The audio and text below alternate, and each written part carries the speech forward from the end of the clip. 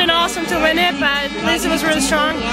Um, yeah, in a way, I'm surprised that I picked up the speed so fast this week, and uh, also with today without the bad, bad light. That's every time it's bad light, I'm not skiing well. So I was really happy about myself that I was charging soft snow that I pushed through and. I was perfect in some turns there, and yeah, I mean everything that was in there I will take with me for the next couple of days faster. Because every year I'm here, if I keep it clean on top, I'm always fast. So that I always have in my head. So, but I knew it was going to be about the, the last turns in the bottom, and I had to ski perfect.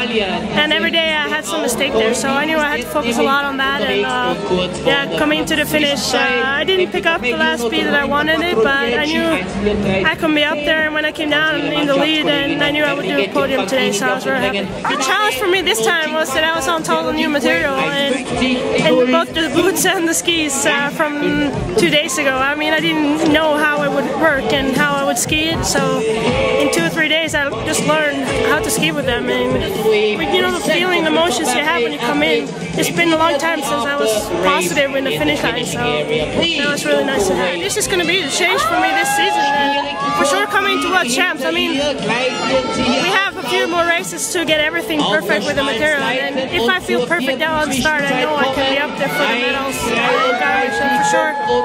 I mean, you, if you want to win against Maria and uh, Lindsey, you have to be perfect, and that I know. Yeah, I don't believe it today. It's yeah, it's so great, and um, at home it's the best thing who can happen. And yeah, I didn't believe that it comes so early, but I know that it's my fan club. Yeah, it's unbelievable.